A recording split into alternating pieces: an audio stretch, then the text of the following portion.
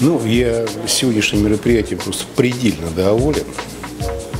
Уже хотя бы потому, что мы открываем для себя совершенно новое направление, которое всегда было в наших планах. Но спорт э, шел у нас первым номером, тренировки, соревнования, открытие клуба. Но я всегда говорил, что фонд Гераклеона и все структурные подразделения, которые работают под его эгидой, всегда будут работать э, рука об руку со спортивной медициной и физиологией. Причем важна здесь и практика, и теория, важна здесь наука. И вот сегодня мы проводим то мероприятие, которое, ну, переоценить значение которого, по-моему, трудно.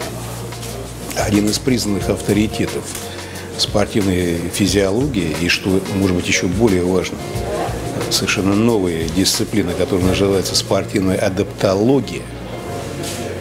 Э, Виктор Николаевич Силуянов, профессор, кандидат биологических наук, открывает свои лекции, своим семинаром тот цикл, который будет у нас постоянно действующим в Гераклеоне. Лекция посвящена проблеме физической подготовки спортсменов. И она рассчитана на тренеров достаточно высокой квалификации.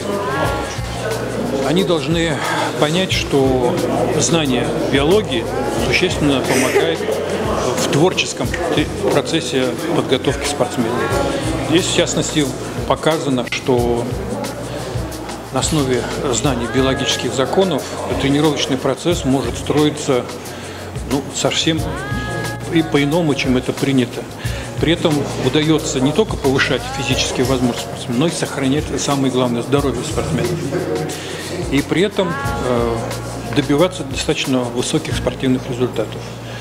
То, что излагается на лекции, ну, прошло практическое применение на многих видах спорта, и циклических, и единоборствах, и спортивных играх.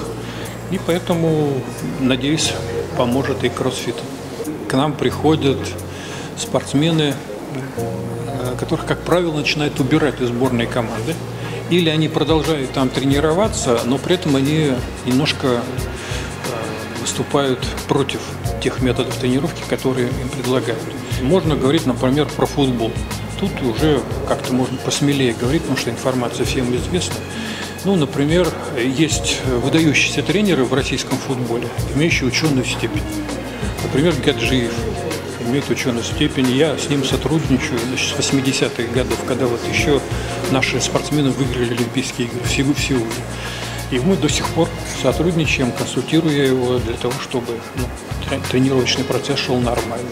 Слуцкий защитился, и я помогал ему над его кандидатской работе информации, которую я, в общем-то, и раньше искал в интернете много лекций Владимира Николаевича, они есть, их можно посмотреть, я их смотрел, много пересмотрел, читал материалы его, там, книжки, какие-то статьи, но все равно при живом общении появляется большое количество нюансов, которые от тебя уходят, при... а здесь их можно услышать. И все равно я получил какую-то дополнительную информацию, которую раньше я не встречал нигде в его материалах, находящихся сейчас в свободном доступе. Поэтому я очень доволен. Мы считаем, что аналогов в нашей стране подобной программе сейчас нет. А, так как сами не понаслышке знаем потребности современных спортивных и фитнес-тренеров, пытаемся в этой программе э, не сколько фундаментальные знания освещать, потому что они есть э, в каждом учебнике, а именно собрать весь э, современный опыт экспериментальной, прикладной э, науки, а также э, дать тренерам именно практически прикладные знания, которые они могут использовать э, в, своих, э, в своей работе. Планируем в дальнейшем э, приглашать сюда различных а также различных сильных специалистов и из медицины, и из э, психологии спорта, ну и также тренеров, э, которые достигли серьезных успехов со своими воспитанниками. Будем рады, что наша аудитория будет Хотелось бы, чтобы наша аудитория росла. Всех ждем, э, гарантируем только самую современную, качественную и необходимую информацию для профессионального роста специалиста.